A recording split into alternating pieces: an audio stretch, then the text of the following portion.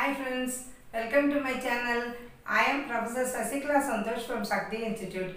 Today I am going to teach you about daily usage of sentences using collective nouns with Tamil explanations.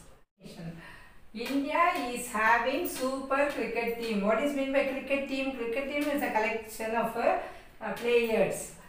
I saw a crowd there. That means I am seeing most of the people there. Our army is good. That means army means soldiers. Collection of soldiers.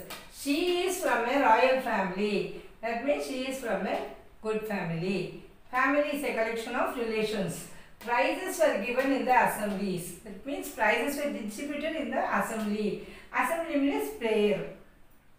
Today we are having committee meeting at 4 pm. That means today we are having committee meeting. Committee is a collection of all the staffs of the company.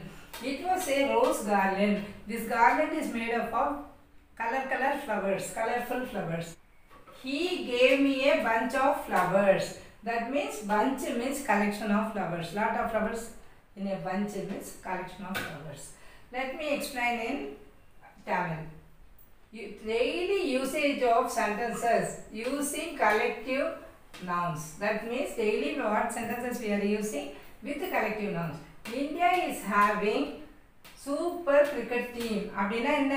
இந்தியாவுக்கு super cricket players இருக்காங்க. டீம்னா collection of players I saw a crowd தேர் அங்கே நான் ஒரு கூட்டத்தை பார்த்தேன். கூட்டமானா crowd நிறைய ஆளுநர் தேர்ந்திருக்காங்க அவர் ஆர்மி இஸ் குட் நம்ம சோல்ஜர்ஸ் எல்லாரும் சேர்ந்து இருக்கிறது ஆர்மி அதனால நம்ம ஆர்மி குட்னு சொல்கிறேன் she is from a royal family அவள் ஒரு நல்ல குடும்பத்து பெண். Family is a collection of relations அப்படின்னா என்ன? இது வந்து எல்லா சொந்தக்காரங்களும் சேர்ந்து இருக்கிறது தான் ஃபேமிலி ப்ரைஸஸ் ஆர் கிவன் இந்த அசம்பிளி ப்ரைஸஸ் எங்கே கொடுக்கப்பட்டது? அசம்பிளியில் கொடுக்கப்பட்டது. அசம்பிளினா prayer school prayer today we are having committee meeting at four PM அப்படின்னா என்ன?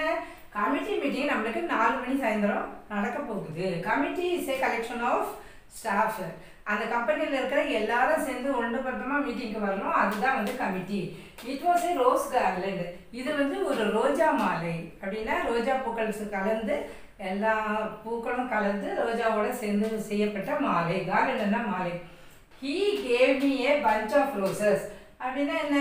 அவன் ஒரு பூங்கொத்து கொடுத்தான் பூவில் நிறைய பூக்கள் சேர்ந்துருந்தா பூங்கொத்து.